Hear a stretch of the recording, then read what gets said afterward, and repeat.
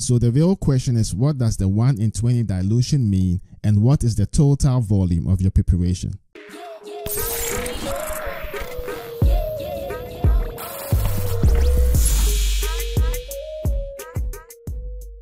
Hello, this is Dr. Dankwa, and if this is your first time here and you like to learn pharmaceutical calculations, tips, tricks, and strategies, then start by subscribing and clicking the bell so you don't miss anything. So let's get right to it. So this was a question that was asked by one of the subscribers, and I felt it to be very beneficial to the entire community. Now, the question says, what volume of a 2% weight by volume solution is required to prepare 200 milliliters of a solution such that a 1 in 20 dilution will produce a 1 in 5000 solution? So here, a useful thing will be to have a strong physical understanding of what is going on in this question. So if you can try and imagine it, what you actually have is you have some volume which is 200 milliliters. So here the volume is actually 200 milliliters.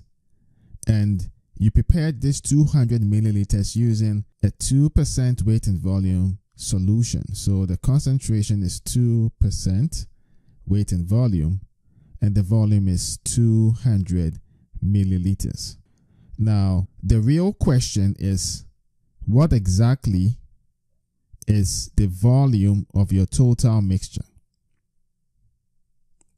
And the way you do that is to make use of the 1 in 20 dilution and then your ultimate concentration. So the way it's going to happen is you're going to take all of the 200 milliliters and prepare a total quantity that will have a concentration of 1 is to 5,000.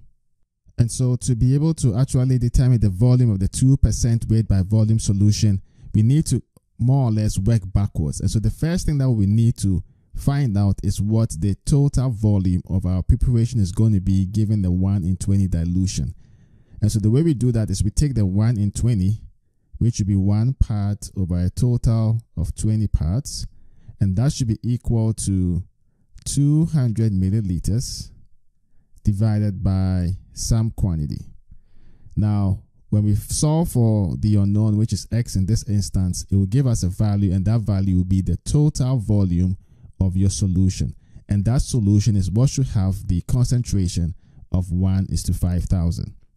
All right, so we'll go ahead and solve for x here. Now, x is going to be equal to 20 times 200 milliliters divided by 1 and that should give 4,000 milliliters.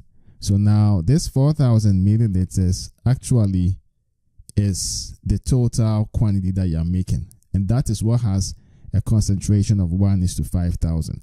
So the next thing that we need to do is actually determine the actual amount of solute that is present in the 4,000 milliliters given the concentration of 1 is to 5,000. So we started by taking the concentration, which is 1 is to 5,000. That implies that you have 1 gram of solute in 5,000 milliliters of preparation.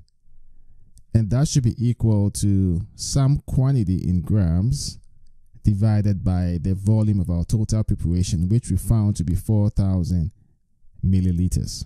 So we can go ahead and solve for y, which is our unknown and y is going to be equal to 1 gram times 4000 milliliters divided by 5000 milliliters.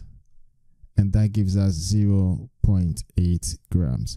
So this 0.8 grams is the actual amount of solute that is present in the 4000 milliliter preparation now, it's important to understand that all of this 0.8 grams is coming from the volume of the 2% solution that you use to make the 200 milliliters. That is the actual source of all of the 0.8 grams. Now, that is important because we can then use the 2% concentration, which implies that you have 2 grams of solute in 100 ml of preparation. And so we can figure out, well, if we have 0.8 grams, then what exactly will be the volume that we need to take? And so we can go ahead and solve for our unknown, which here is Z. And so that will be equal to 0.8 grams times 100 milliliters divided by 2 grams. The grams can cancel out and you actually end up with 40 milliliters. All right, so let's summarize the key steps. So there were three key steps. First, you need to be able to determine the volume of your preparation, and that is obtained by using the 1 is to 20 dilution information and the original volume that you prepared. So that's how we get the total quantity, and that's very important.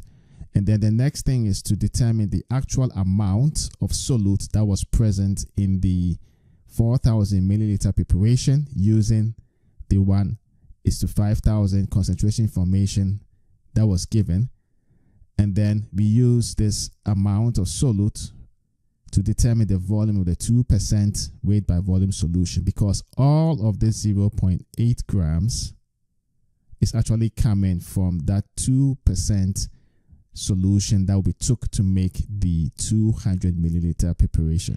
So I hope you found this video tutorial useful. If you did, be sure to like it and share it. And if you have any questions, leave them in the comments and I'll get to them as soon as I see them.